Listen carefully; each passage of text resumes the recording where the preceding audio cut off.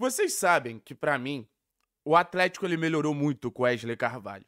O Atlético melhorou em diversos aspectos. Acho que o Atlético melhorou em questão de proposta de jogo. Acho que o Atlético melhorou em execução de proposta de jogo. Não é simplesmente você ter uma proposta, é ter uma proposta condizente à característica dos seus jogadores e ver esses jogadores executando bem essa proposta. Acho que o Atlético melhorou defendendo, acho que o Atlético melhorou atacando. Acho que é uma melhora geral. Mas antes que vocês acreditem que eu tô exaltando loucamente o Wesley, a melhora que aconteceu era uma melhora extremamente necessária. Era uma melhora que não dava para onde continuar fazendo o que a gente vinha fazendo. Era uma melhora que não é nenhum grande mérito. A melhora era quase que obrigação. Mas eu fico pensando, é, quanto dessa melhora do Wesley Carvalho tem a ver também com Vitor Roque? Porque a gente sabe que a gente tem um atacante de um nível muito alto. A gente sabe que a gente tem um atacante que desequilibra. E eu acho que o encontro do Vitor Roque com Wesley Carvalho faz esse Vitor Roque ser ainda mais importante, ter uma porcentagem ainda maior no que a gente chama de melhora.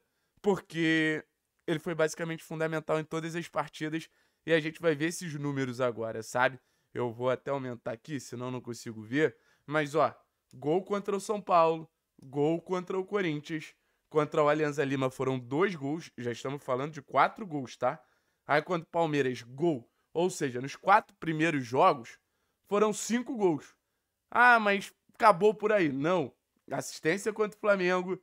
Aí você teve gol contra o Bahia. Você teve é, assistência contra o Vasco. Além dos pênaltis sofridos, que facilita demais é, o caminho do Atlético para chegar ao gol. Pênalti sofrido contra o Palmeiras depois de uma jogada individual do Vitor Roque e o pênalti sofrido contra o Vasco depois de uma jogada individual do Vitor Roque. Então a gente está falando de uma quantidade absurda de participações em gol.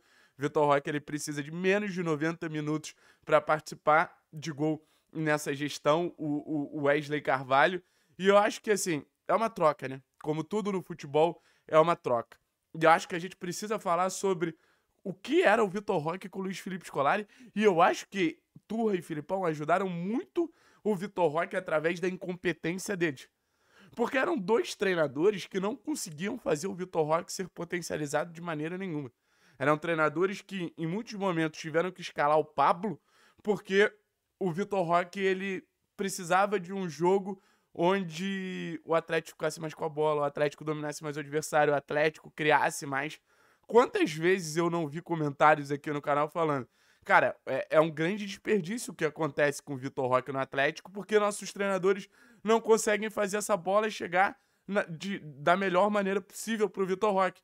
Só que o Vitor Roque, nesse período, ele não se acomodou com a ineficiência do tre dos treinadores em si, dessa antiga comissão técnica. O Vitor Roque ele continuou lutando, o Vitor Roque continuou se dedicando, o Vitor Roque continuou é, se propondo a estar tá sempre tentando criar. E nessa tentativa de estar tá sempre tentando criar, e nessa tentativa de estar tá sempre tentando finalizar, o Vitor Roque ele se tornou um atacante melhor. Porque lidar com a adversidade é, acho que é a melhor forma de um jogador se desenvolver. Porque se o Vitor Roque ele fosse um jogador que recebesse 35 bolas dentro da área, provavelmente ele teria um número de gols muito maior. Mas ter que voltar, ter que brigar com o zagueiro, ter que buscar jogada individual, ter que lutar para ter um mínimo de condição de finalização, eu acho que fez o Vitor Roque ser um atacante melhor. Então, assim, nas piores condições possíveis, sim. Em condições que a gente nunca teria que ter colocado um atacante do nível do Vitor Roque para jogar, sim. Mas eu acho que esse momento quase que insalubre que o Vitor Roque viveu, de tanta porrada de zagueiro, de tanta disputa e tudo mais, fez o Vitor Roque se preparar melhor para quando chegasse um treinador de um nível melhor, quando aumentasse o nível do jogo do Atlético, ele estivesse pronto para desequilibrar. E é o que o Vitor Roque vem fazendo. O Vitor Roque vem desequilibrando. Vamos contar a quantidade de participações em gol? Uma, duas, quatro, cinco, seis, sete, oito, dez. Em quantos jogos? Um, dois, três, quatro, cinco, seis, sete, oito, nove. Dez participações em gol em nove jogos se isso não é desequilibrar, eu já não sei mais o que é desequilibrar.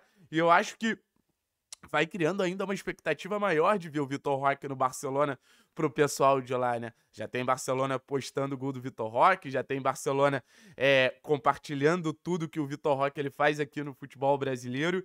Então, assim, é um Vitor Roque que vai deixando gostinho de tá chegando a hora de vestir a camisa de um grande clube mundial. Enquanto isso, ele vai desequilibrando a favor do Atlético. E lembrando, tanto Atlético quanto Barcelona, vocês podem vir na KTO. A KTO te oferece os melhores mercados do futebol mundial. Copa do Brasil, Campeonato Brasileiro, Copa Libertadores da América, mas quando o Vitor Roque for pro Barcelona, Liga dos Campeões, Campeonato Espanhol, Copa do Rei, tudo na KTO, não tenha dúvida disso. E óbvio, utilizando o código 3 pontos na hora de apostar e continuar apostando em gols do Vitor Roque com ele vestindo a camisa do Atlético ou não, vocês podem usar o código 3 pontos que você ganha 20% de bônus no seu primeiro depósito e eu quase te imploro. Eu não vou falar que eu imploro, porque acho que implorar é um termo forte demais.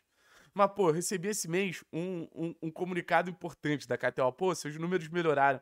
Tem que manter esses números bem, rapaziada. Se você valoriza o meu conteúdo, deixa o like, comenta qualquer coisa no vídeo, mas principalmente se inscreve na KTO, que ajuda demais, demais, demais, demais.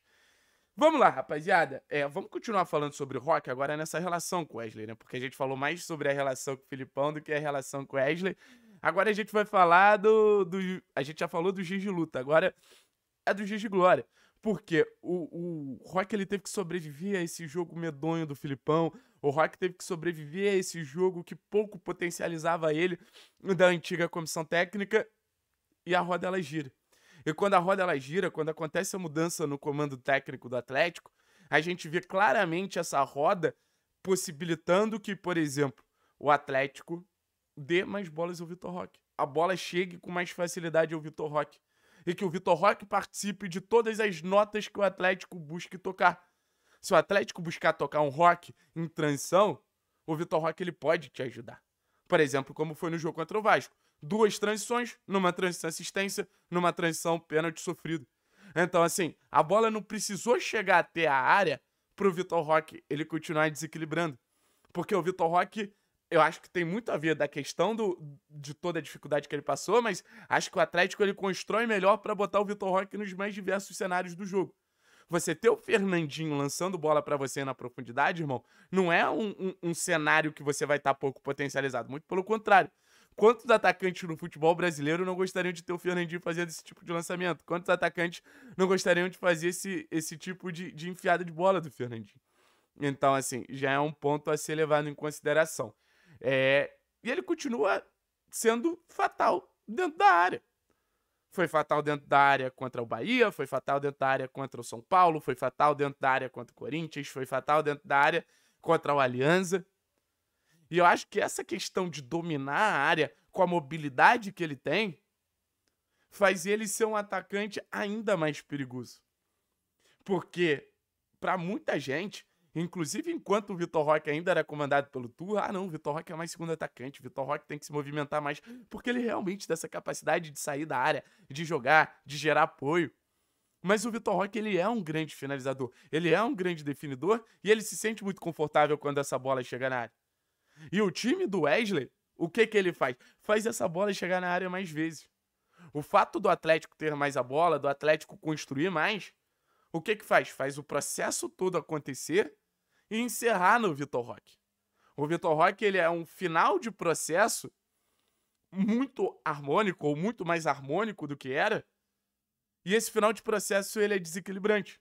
Então não é um Atlético que cria para perder gols. Até vem perdendo alguns gols, mas quando a bola chega no Vitor Roque, a capacidade de, de finalizar a jogada com a melhor maneira possível é absurda. Então, assim, você começa a construir melhor, você começa a levar essa bola no seu centroavante da melhor maneira possível, porque ele vai te entregar o que você espera dele, que é gol. E o gol é, é valioso no futebol, bicho. O gol é bem valioso no futebol. A gente precisa saber reconhecer isso. E não é à toa que o Wesley Carvalho fazendo o time construir mais, criar melhor, e Vitor Roque fazendo é, é, tendo esse poder de definição e esse poder de conseguir aproximar o time do Wesley aos resultados, eu acho que essa relação vem dando muito certo. É, me lembra um pouco a relação do Ten Hag com o Rashford na temporada passada. Foi um treinador que chegou e potencializou muito o, o atacante em si. é impressionante. 10 participações em 9 gols, em 10 participações em 9 jogos é realmente impressionante. Valeu, pessoal. Tamo junto a nós. Daqui a pouco tem live, hein? Não perde nossa, nossa livezinha da manhã, não, hein? Conto com você.